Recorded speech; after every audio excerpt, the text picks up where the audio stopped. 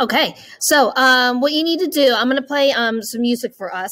You're going to be dancing with one part of your body, okay? Now, when the music stops, you got to put it somewhere. So I'm going to tell you where you have to put that part of your body. So if we're dancing with our hands, okay, when the music stops, I might tell you to put it on um, a table, okay? So something like that. Let's start with, we'll start with our hands for this one.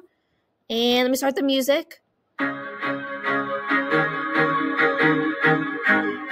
Dance with your hands? Hmm.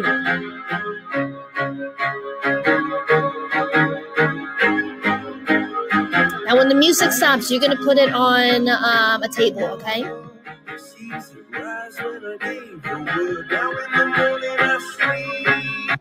Well, did you put it on a table? Yeah, good. Let's go to um, our pointer fingers this time.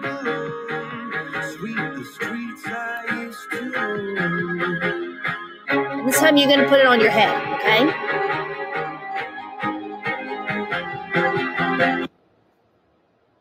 Yeah, good. Very nice. This time you're going to dance with your elbows. And when the music stops, you're going to put it on a chair, okay?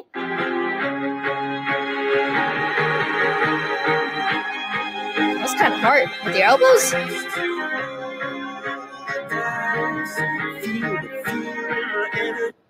Well, I got to put on a chair.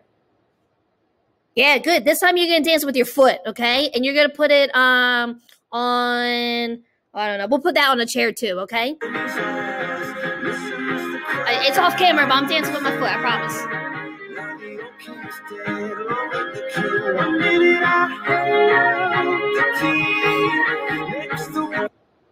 We got put on chair. Yeah, good. This time you're gonna dance with your head.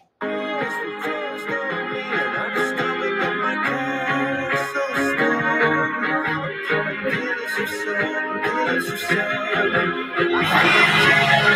gonna put on your hands when the music stops, okay?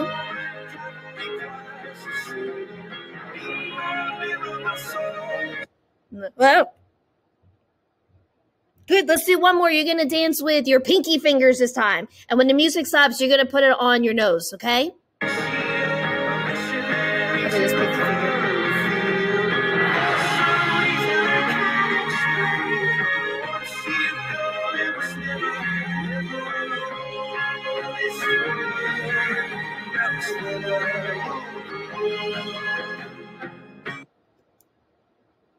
Yeah, very good.